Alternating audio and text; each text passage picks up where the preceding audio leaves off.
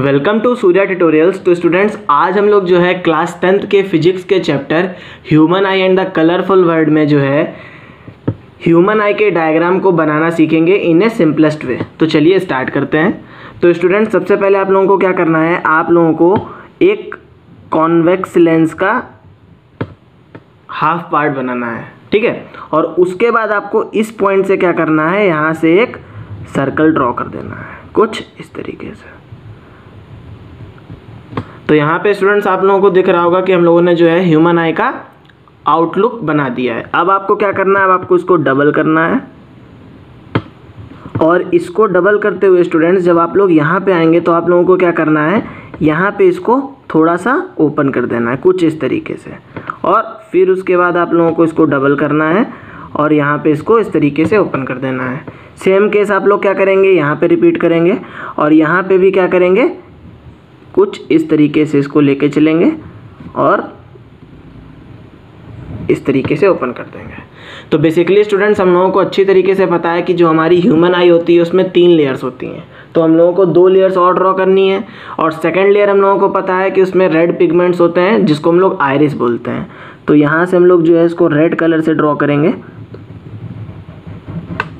तो ये कहाँ तक जाएगी?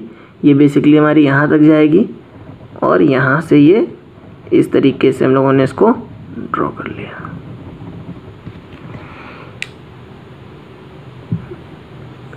यहाँ पे स्टूडेंट्स क्या होगा? यहाँ पे हमारा कॉन्वेक्स लेंस होगा, क्योंकि हमारी आई के अंदर क्या होता है? कॉन्वेक्स लेंस होता है। और इसको होल्ड कौन सी मसल्स करती हैं? इसको होल्ड बेसिकली सिलियरी मसल्स करती हैं। तो यहाँ से हम लोग जो है इनको होल्ड करने के लिए इसको बना दे रहे हैं। और इसको कलर कर दे रहे हैं और अच्छे से रिप्रेजेंट करने के लिए। पहले स्टूडेंट्स हम लोग डायग्राम बनाना अच्छे से सीखेंगे और उसके बाद हम लोग जो है, इसमें जो भी हम लोगों को लेबलिंग करनी है, उसके बाद हम लोग इसकी लेबलिंग करेंगे। तो हमारा एक कॉन्वेक्स लेंस कुछ इस तरीके से होता है।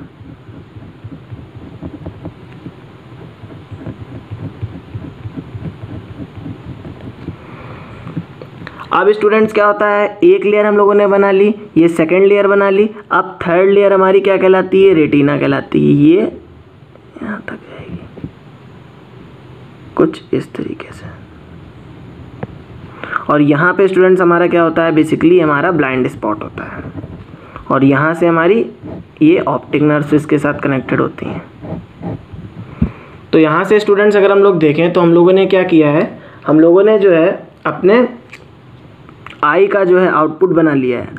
और ये जो आयरिस है, इसमें क्या होता है? होल होता है। उसको हम लोग क्या बोलते हैं? उसको हम लोग पीपल बोलते हैं। अब हम लोग स्टूडेंट्स इसकी नेमिंग कर ले रहे हैं। तो आउटर मोस्ट पार्ट को स्टूडेंट्स हम लोग क्या बोलते हैं? इसको हम लोग कॉर्निया बोलते हैं और ये क्या होता है? ट्रांसपेरेंट होता है।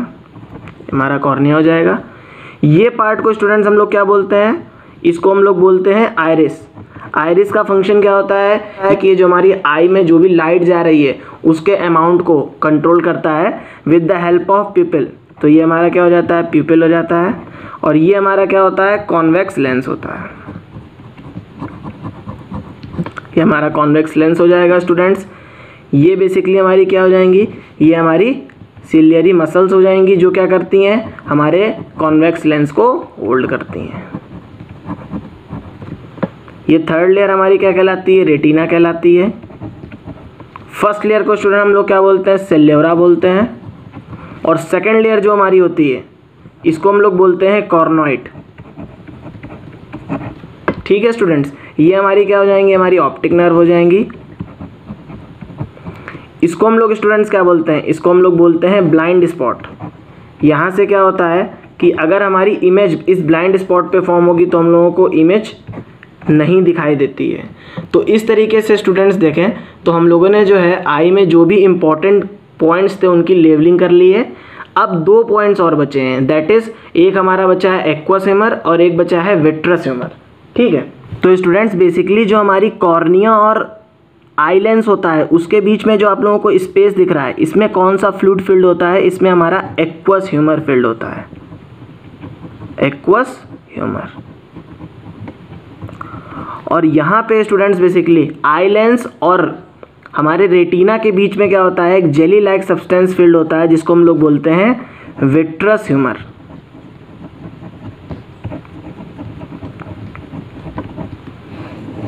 और ये जो पूरा स्फेरिकल स्ट्रक्चर आप लोगों को दिख रहा है, ये बेसिकली हमारी क्या है? आई बॉल है। तो हम लोग ये बोल सकते हैं कि हमारा जो स्फेरिकल स्ट्रक्चर है, इसको हम लोग क्या बोल देंगे? आई बॉल बोल देंगे। तो इस तरीके से स्टूडेंट्स हम लोगों ने जो है मैक्सिमम पार्ट्स की क्या कर लिए? लेवलिंग कर लिए। और लास्ट में आप लोग जो है, यहाँ पे जो है ह्यूमन आई लिख दीजिएगा। तो स्टूडेंट्स अगर कहीं आप लोगों के बोर्ड में जो है, इसकी लेवलिंग आ जाएगी या कुछ पार्ट्स को बताने का आ जाएगा तो आप लोगों को जो है, अच्छे तरीके से आई का डायग्राम ईजी वे में बनाना आता है और उसकी लेवलिंग करनी आती है। तो स्टूडेंट्स अगर आप लोगों को मेरा ये वीडियो अच्छा लगा हो तो प्लीज़ चैनल को सब्सक्राइब करें वीडियो को शेयर करें और कमेंट करें। थैंक्स